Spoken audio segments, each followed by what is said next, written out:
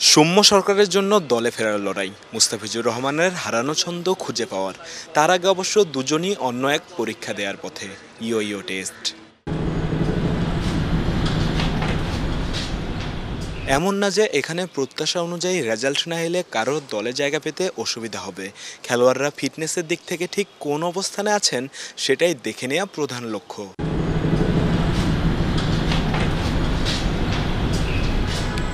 তবুও সবারই লক্ষ্য থাকে এমন পরীক্ষাগুলো ভালো অবস্থানে থেকে শেষ করার আর সৌম্যরা যে সেটা পেরেছেন তা তাদের উপস্থিতিই জানিয়ে দেয় এমনকি তরুণ যারা তাদের মুখের হাসিই বলে দেয় বেশ ভালো হয়েছে তাদের ইও ইও টেস্ট আর এমনটা জানিয়েছেন জাতীয় দলের fitness trainer Nick Leo Um, I mean, without looking at the uh, the data, um, I don't know off the top of my head, but like my perception from what happened today was that everyone was pretty similar.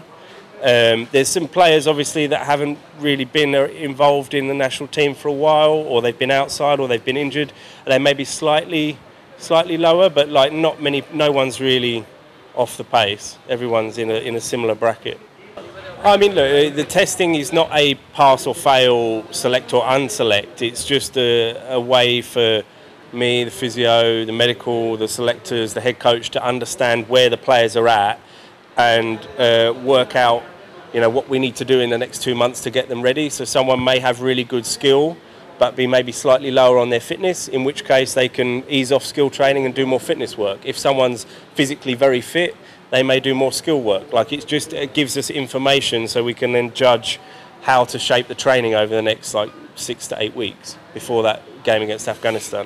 ফিটনেসের দিক থেকে প্রায় সবাই ভালো অবস্থানে এটাই এখন অবধি স্বস্তির তামিম বিসিবির যেই বৈঠক সেটা সফলভাবে শেষ হলেই এখন হয়। উৎস মাহমুদ অলরাউন্ডার স্বাস্থ্যকর অল টাইম পান সব সময় all time healthy life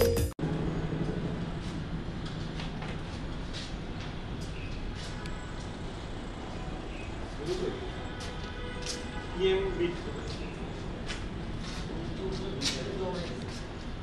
Langsam sind wir